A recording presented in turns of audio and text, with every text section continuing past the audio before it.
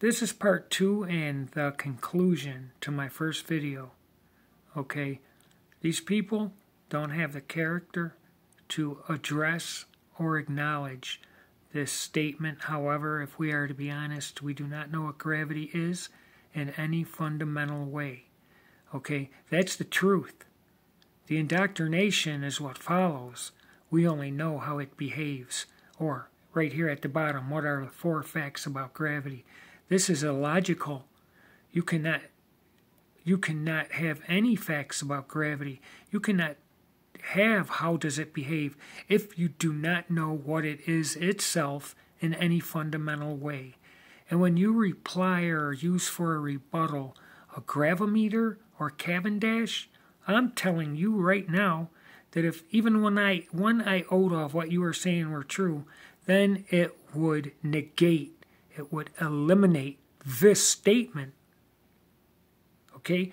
If anything you were saying about gravimeters, if you truly understand how they work and what's going on, or Cavendish, then you would never use them to explain this statement away because this statement exists.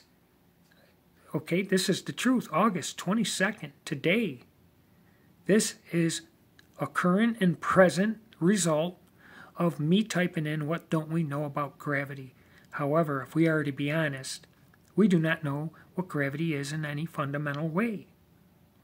Okay? And that takes into account your gravimeters and Cavendish.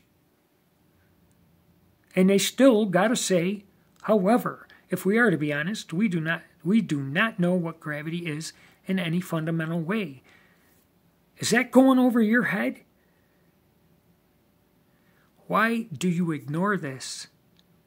You have to suppress this in order to keep your belief in a religion. And that's what this is. It is a religion that requires a lot of faith. I would respect anyone that told me well, I have faith in gravity. I know it can't be demonstrated. I know it's not tangible. I know it has no presence in substance that we can detect or produce or present. I would respect that because that is your right. You have a right to believe in what you want to believe, especially when it comes to faith. I can admit, like I did in the first video, that I cannot produce one iota of presence and substance of God.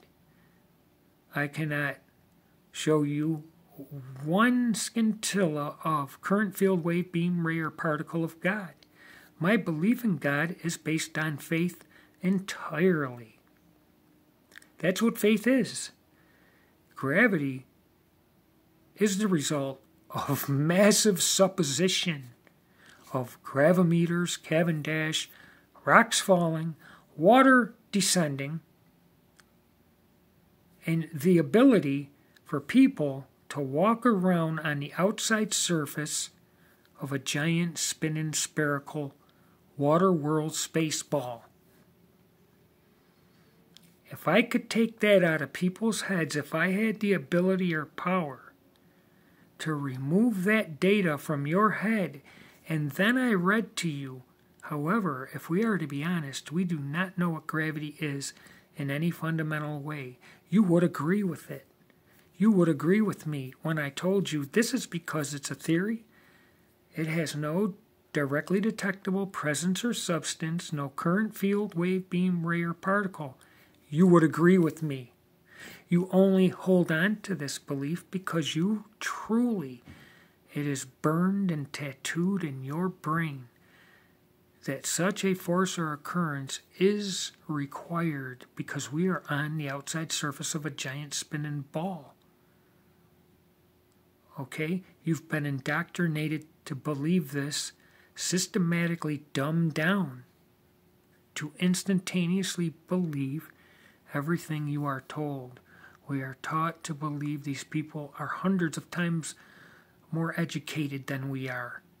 This is wrong, that is not learning hearing or reading something and instantaneously believing it, memorizing and regurgitating it is not it is not knowledge. Okay, you must understand what it is you're believing first. You people sit in front of these documentaries on space that are 100% animation, artist renderings, and conceptions, and you instantaneously believe every word with no no thought to verification whatsoever. Why would they lie? Not everyone's lying. When I told my brother that, do you know the earth is spinning a thousand miles an hour? I wasn't lying. I honestly believed it. I had no reason to think my teacher would lie to me. I trusted her. And when she learned the garbage she was telling me, she believed implicitly what her teachers told her. And her teachers believed the same stuff from the teachers they learned it from. Okay? This is how a vicious circle or cycle keeps going. You would never believe that there could be a force or occurrence that could do what they say gravity is doing, yet not know anything about it in any fundamental way. Imagine if I said that about electricity. I'm not going to go into that because I explained that all in my first video. For a person, place, or thing to be real, it must possess presence and substance. All right. This just astonishes me. Over and over, I ask, please explain to me. I don't want to hear about gravimeters or Cavendish. Please explain to me why they are saying, however, if we are to be honest, we do not know what gravity is in any fundamental way.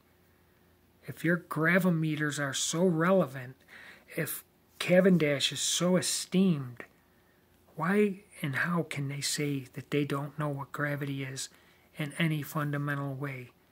Have you realized that?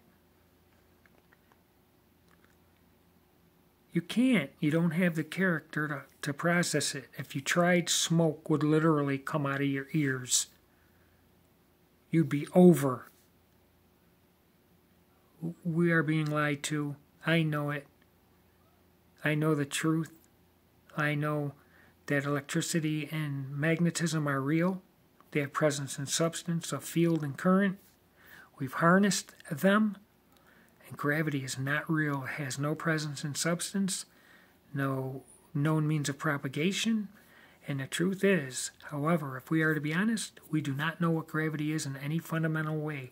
But you will try to tell me that gravity is pulling, holding, or curving over one quintillion tons of water, keeping it on the outside surface of a giant spinning ball. Are you effing crazy?